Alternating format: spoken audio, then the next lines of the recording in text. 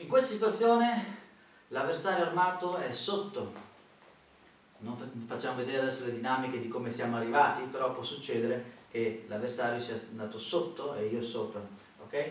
Siamo in una situazione di presa okay? che può essere o presa io dalla mano dell'avversario o presa lui dalla mano dell'avversario, però la cosa principale in questo caso è l'arma, quindi di conseguenza io vado a prendere e lui cercherà chiaramente, conoscendo la situazione, di uscire dall'effettuato del polso, del, del pollice come abbiamo già spiegato precedentemente. Quindi in questa situazione qua, okay, io andrò sopra ok? Col mio eh, ginocchio sinistro o destro che sia, uscirò da questo, colpirò e andrò a torgere, ok? Il polso in modo tale che poi dopo posso lavorare col suo coltello a mia disposizione. Ora vediamo un'altra situazione. Lui mi tiene il collo col suo braccio, ok? Io chiaramente ho la situazione sulla sua mano armata, ok? Però ho questa molto libera, ok? faccio fatica ad andare a prendere il suo, il suo, braccio con la mia mano destra, quindi piegherò, mentre piegherò, roterò polso, ok? E automaticamente l'arma verrà persa. Vediamo?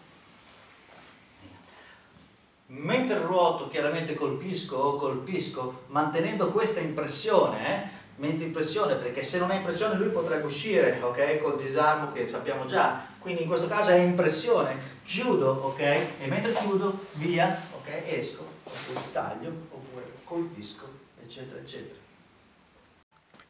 Siamo in un'altra posizione ancora, lui mi prende o con la mano o con il, co o con il braccio mi prende, io faccio pressione, ok? Sempre per quel motivo che se non faccio pressione lui potrebbe uscire e disarmarsi dalla mia mano, ok? Faccio pressione, da questa posizione qua metto dentro il mio gomito verso la sua testa che girerò, automaticamente vado verso?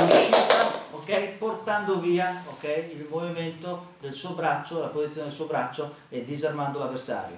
Da qui o butto via il coltello o prendo il coltello e colpisco io. Altra situazione, presa, mi porta verso il coltello, entro dentro di gomito, ok? Mentre esco girando la sua faccia, giro polso, ok? Prendo l'arma okay? e colpisco.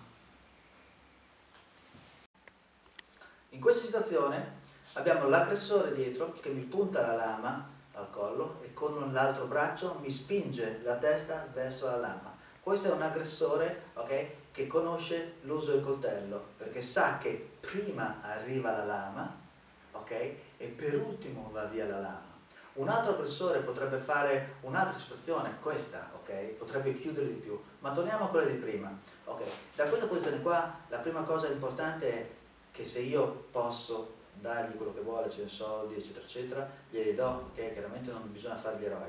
La seconda, ok, se devo lottare per la vita, a questa posizione qua risolverò il problema facendo questo, andando verso il suo gomito destro perché c'è molto spazio. Quindi prenderò, andrò dentro, ok, chiuderò sotto, colpirò, ok, e disarmerò la persona, l'avversario in questa tecnica.